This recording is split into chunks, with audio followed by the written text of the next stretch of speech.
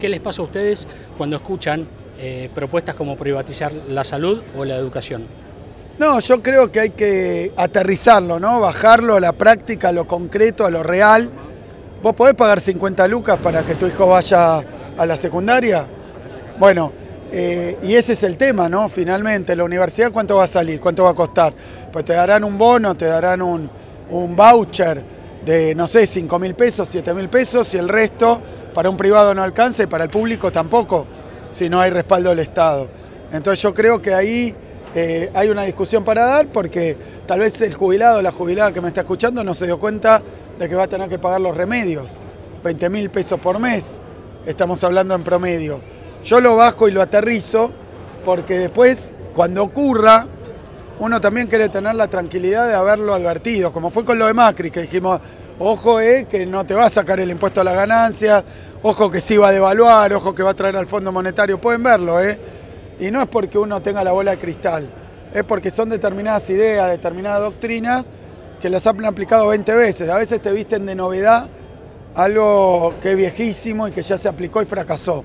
¿Hay dos proyectos en juego marcados? Sí, para mí la derecha tiene un solo proyecto, varios candidatos, pero un solo proyecto. Tiene que ver con quitar derechos, con ajustar, con privatizar.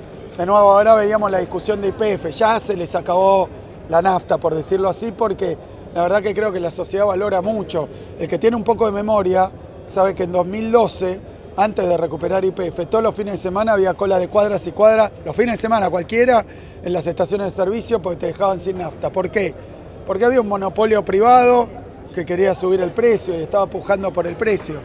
Entonces los que defienden los monopolios, los que dicen que se pueden contaminar los ríos, los que dicen que el Papa es el anticristo, no sé qué anda diciendo.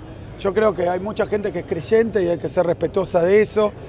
Me parece que de la misma manera, Malvinas, eh, son cosas creo que muy profundas y que en las pasos tal vez no se prestaba tanta atención porque había la necesidad de expresar un descontento, está muy bien, tomamos nota, hoy Sergio está este, tomando medidas concretas, que yo digo es el primer episodio para hablar así de lo que va a ser la próxima temporada, el próximo gobierno, ¿no?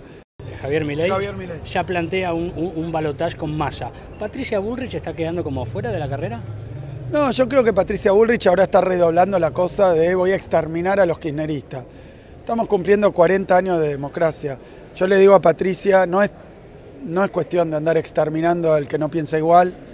La verdad que no.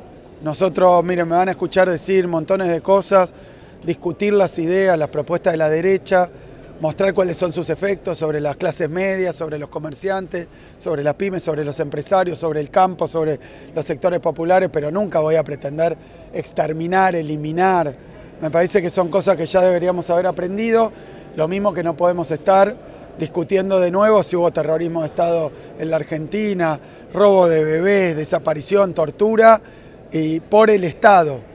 O sea, el Estado, el Estado es como que yo pongo un ministerio de la tortura. Bueno, hay cuestiones que son que se puede discutir si son delitos, si son crímenes, pero el Estado criminal, eso es lo que pasó en la Argentina. 30.000 desaparecidos tuvimos y están negándolo. Entonces son cosas que, la verdad, mi generación, que, bueno, yo empecé a los 13 años, empecé la secundaria, era el 84, primer año de democracia, y la verdad que uno leía el nunca más. Invito a los pibes y pibas, capaz que si quieren habrá un resumen en internet, pero miren lo que fue lo que pasó en la Argentina. El otro día con 1985, la película esta, escuchaban los testimonios en el juicio de las juntas y muchos decían, ah, yo no sabía que había pasado eso. Sí, sí, violaban, picaneaban este, y después los tiraban al mar vivos, al río, acá. Eh, y eso no es que lo hacía una persona, un grupo, porque no había democracia, no era eso era el Estado sistemáticamente con dinero de los impuestos. No me voy a cansar de decirlo, van a decir, ah, pero Macri, no, duele lo que hizo Macri, condiciona, es la verdad que uno está esperando una mínima autocrítica, una mínima disculpa. Yo lo escuché a Macri decir, no, yo le decía a mis funcionarios que no se endeudaran tanto. Anda, anda, ¿cómo le decías a tus funcionarios que no se endeudaran tanto? Qué cara dura. Nos dejó con una deuda multimillonaria que vamos a tener. A 100 años era la deuda. Y eso es lo que hoy estamos tratando de contrarrestar y que no afecte a los sectores. Y tal vez no fuimos tan claros en explicarlo, pero ahora cuando viene la derecha y te dice, ¿sabes cómo se resuelve esto? Bueno, te voy a sacar todo lo que tenés.